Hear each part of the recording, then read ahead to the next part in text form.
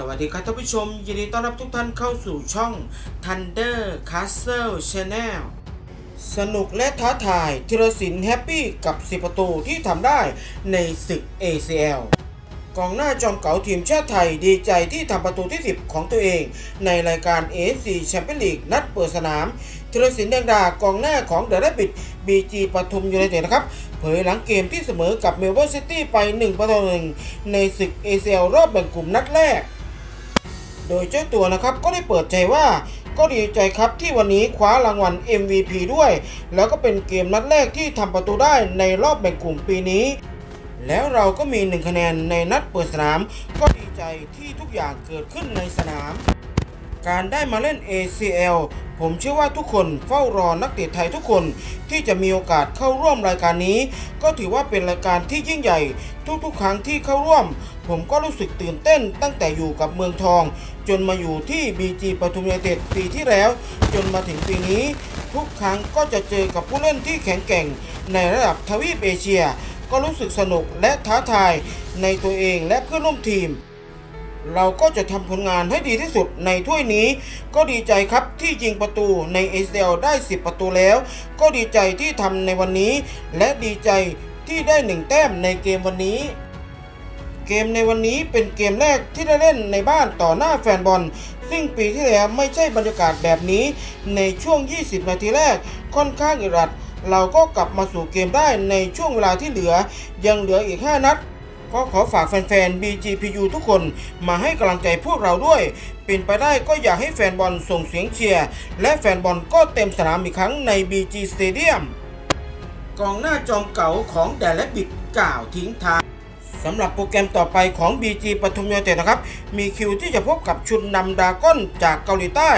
ในวันที่ 18 เมษายนนี้ เวลา 18 นาฬิกาถ่ายทอดสดทาง 11 Sport มาที่เรื่องต่อมานะครับ พร้อมยิงกว่าง ดาวยิง ACL ชี้นัดเจอเชียงรายสำคัญที่สุดในรอบแบ่งกลุ่ม เดยันดัมยาโนวิชดาวซัลโวสูงสุดตลอดการของศึกลูกหนัง AFC แชมเปี้ยนลีกเปิดใจในนัดเปิดสนามในรอบแบ่งกลุ่มที่จะพบกับลีโอเชียงรายยูไนเต็ดสำคัญที่สุดสำหรับทีมคิตฉี FC ที่นับเป็นก้าวสำคัญกับการสร้างผลงานในรอบต่อไป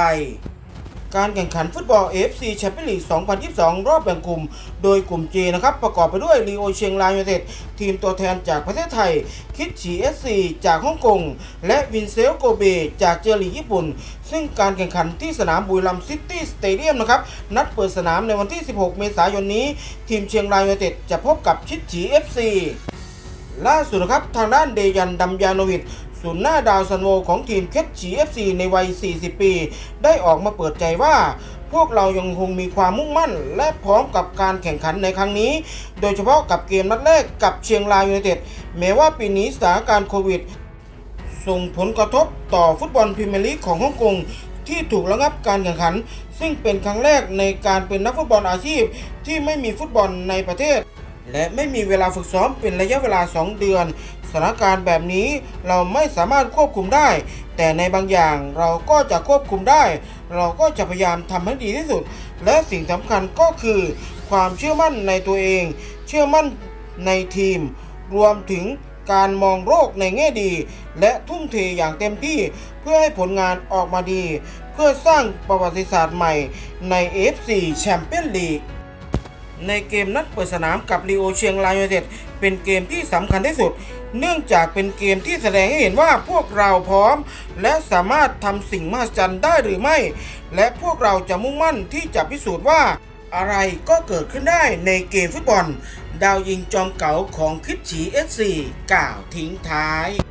สำหรับคิตฉี SC นะครับ เตรียมที่จะลงประเดิมสนามในศึกเอเชียรอบแบ่งกลุ่มกับลีโอเชียงราย ในวันเสาร์ที่ 16 เมษายนนี้ เวลา 18.00 น ถ่ายทอดสดทาง11 Sport ถ้าหากใครนะครับอยากจะไปสัมผัสเกมในระดับเอเชีย ก็สามารถซื้อบัตรได้แล้วที่7 e เ e ่ e อทุกสาขาทั่วประเทศ แล้วก็จบลงไปแล้วครับกับข่าวสารความเคลื่อนไหวของวงการฟุตบอลไทยในวันนี้ สุดท้ายนี้ขอขอบคุณแฟนคลับทุกท่านที่รับชมคลิปนี้ ใครชอบอย่าลืมกดไลค์ กดแชร์ กดติดตาม และกดกระดิ่งแจ้งเตือนกันด้วยนะครับ แล้วพบกันใหม่คลิปหน้า สวัสดีครับ